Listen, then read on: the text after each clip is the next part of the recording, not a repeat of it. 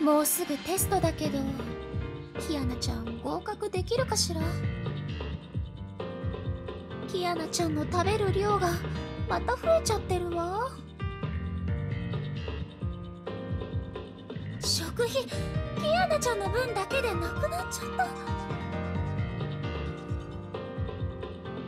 キアナちゃんの食べる量がまた増えちゃってるわ。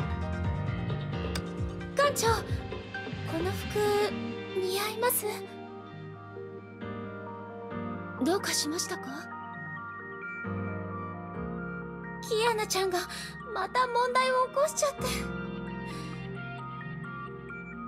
館長いたずらが過ぎますよ。